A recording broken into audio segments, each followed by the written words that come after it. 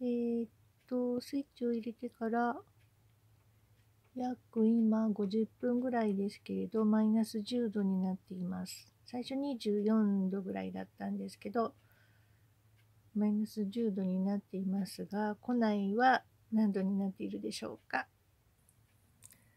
庫内はまだ5度ですね。15度差があります。